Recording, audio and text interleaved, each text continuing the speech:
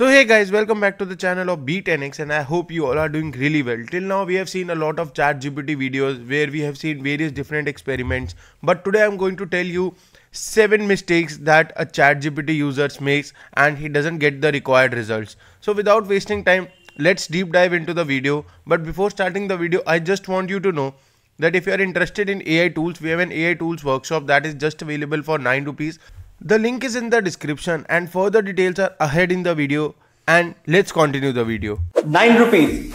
9 rupees cannot even buy you a packet of chips.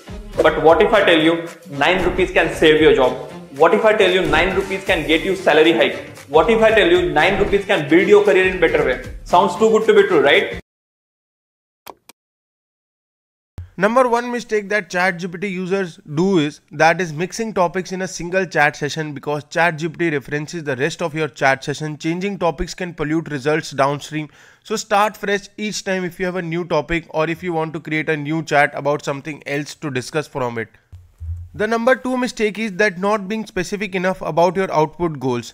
ChatGPT has been trained to prefer a certain outputs and often people get generic answer as their promises are not specific enough. For example, if you don't want the usual preamble and instead want to get directly into a response, try asking ChatGPT to remove pretext or context or only return certain results. This will dramatically focus ChatGPT and get you the responses you want for yourself. And before moving ahead on the third mistake, I just want to have a small talk with you Nowadays, you all might know AI has taken over the world in just a short span of time, and millions of people have lost their jobs, and a lot of people have been laid off and whatnot. And I believe that you don't want to get affected by this recession wave, right?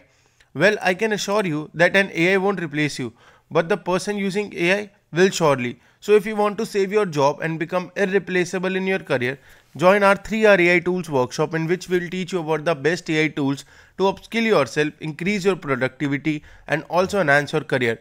Make your future secure with us. Join our workshop by clicking the link below in the description now. And let's continue to the mistake number three. Number three mistake is not giving examples of what you want. Did you know that you can give ChatGPT full examples of the kind of output that you are looking for? Most of the people don't actually realize this.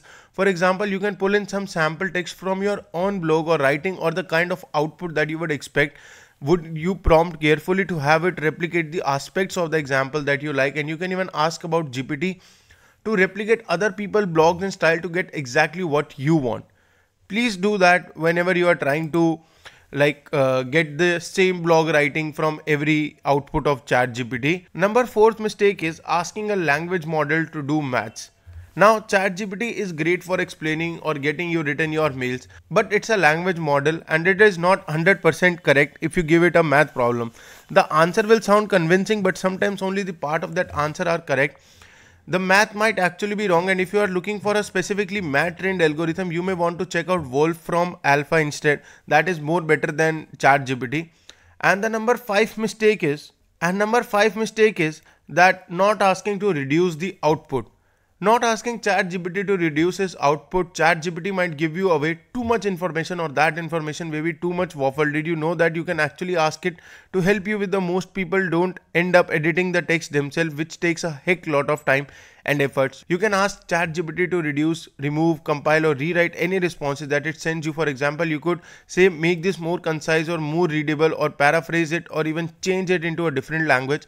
ChatGPT can do all that from the command prompt. Number six mistakes is asking ChatGPT to do only one single thing. Now, single commands are the main cause of bad prompt engineering and poor results. They are quick, but ChatGPT work best when it gets as much as information possible from you. If I'm trying to engineer a new prompt, I might try out a bunch of shorter commands in the terminal, but then bring them all together in a new chat and that usually produces the best results. So reduce the single line commands and try and compile as much as together as possible because remember ChatGPT is trying to extract information based on your prompt and it will collect all the data based on that single line or the those two three line of prompts that you have given to it. So number seven mistake is not improving your prompts.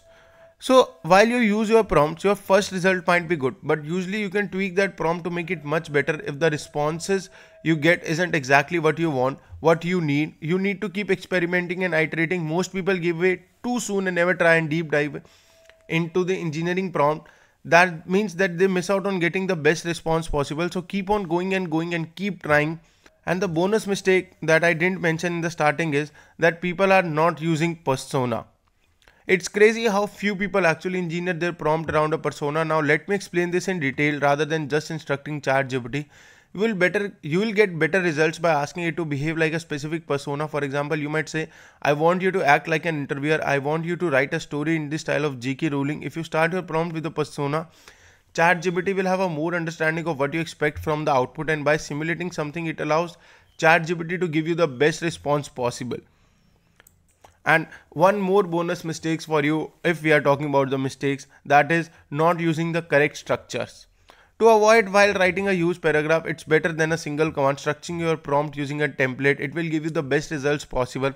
Try to structure things so that you have a basic outline. I tend to use something like start off with a persona then laying out the task, then asking for the steps to be completed, then adding any context or constraint for ChatGPT before finally asking for my goal and specific format of the output together. And guys, these are the mistakes that you should avoid while using ChatGPT. And guys, that is it for this video. So if you like the video, don't forget to leave a like, drop a comment if you have any doubts regarding it.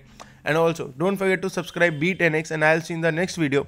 Until then, do remember that we have an AI tools workshop that is just available for 9 rupees and I will see you in the next video. Bye bye.